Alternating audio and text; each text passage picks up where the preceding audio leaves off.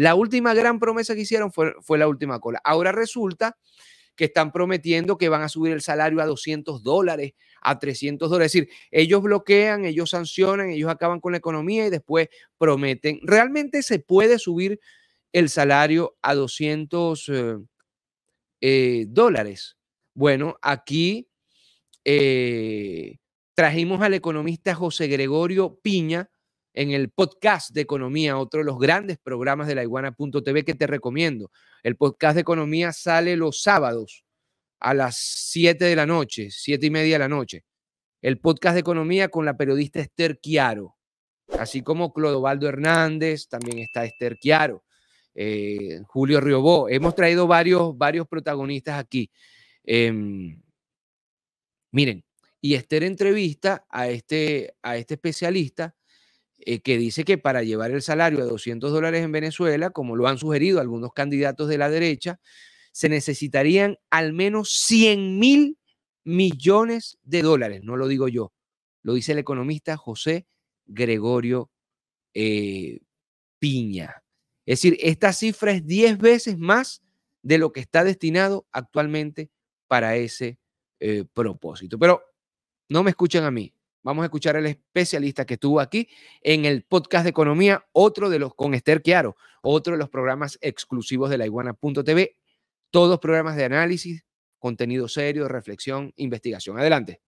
Eh, ¿Qué puede pasar si eh, se aumenta el salario mínimo a 200 dólares, que es una propuesta que hemos visto en muchos candidatos presidenciales están hablando de eso, en muchos economistas están hablando de eso?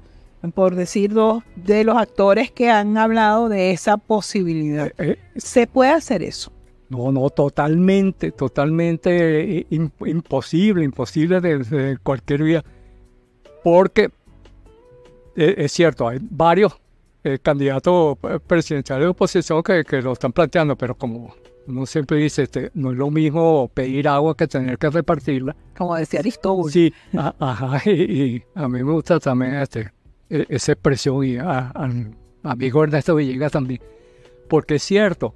Y en el hipotético y negado caso que alguno de esos llegara a, ganar, con llegar después y, decir, no, que no, no hay nada, dice, ya estás montado en el ah, coroto. Pero, este, comencemos por aquí. ¿Cuánto se necesita? ¿Cuánto de ingreso debería tener el país ah. y destinar para que se pudiera posible un aumento de 200 dólares en salario mínimo? Sí, que de paso, esa cifra, esto no la sacaron al boleo. Lamentablemente la tomaron de algunos este, que, que, ya mm, eh, aludimos al principio, que desde posiciones inclusive de, eh, supuestamente cercanas al gobierno, empezaron a, hablar de, de, ese. Algunos de ellos yo se lo dije en su cara que sería inviable, pero como ellos hablan por hablar también este, sin números, siempre les insistía, pero vamos a hablar de los números. La, economía no es solamente números, pero también es número. Tú no puedes hacer política económica, pues.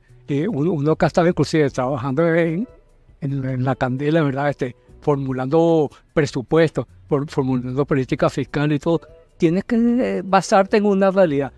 Mira, con el salario mínimo de 200 dólares multiplicado por el tema de, las escalas salariales, multiplicado por las incidencias salariales, sumándole las prestaciones, sumando los montos de las pensiones que se llega a eso mismo, a 200 dólares, este, y todos los números, y eliminando todos los bonos, inclusive los bonos por patria, en ese escenario, que es la mía, se necesitarían para este año 2024 100 mil millones de dólares. Eso es 10 veces el monto que actualmente se está destinando a ese tema de salud. Sí, sí, se multiplica por, por 10, por todos estos elementos que digo, que no, es lo mismo que te lo de porque los que están, los privados que dicen, no, nosotros estamos dando más que el mío, no, pero lo, lo están dando igual lo, dan por vía de bono, no, no, no lo dan por salario mínimo porque obviamente se le multiplica ya también, porque por toda la incidencia. Entonces, es,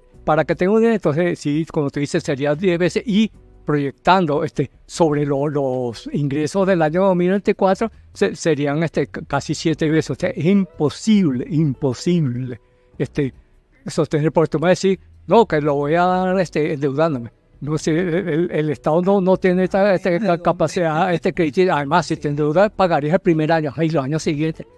Otros te van a decir, no, bueno, eh, que lo han planteado. Ahí el, el, el, el tapamarilla este lo, lo, lo planteó porque, bueno, quien está este lo, lo dice, no, ve- vendemos PDVSA. Ok, tú lo vendes PDVSA y tienes para dar el primer año. Y el segundo, Ajá, y el tercero. Sobre todo que si vendes PDVSA no vas a tener los ingresos que tenés ahora este, eh, por, por, petróleo. Entonces es demagogia.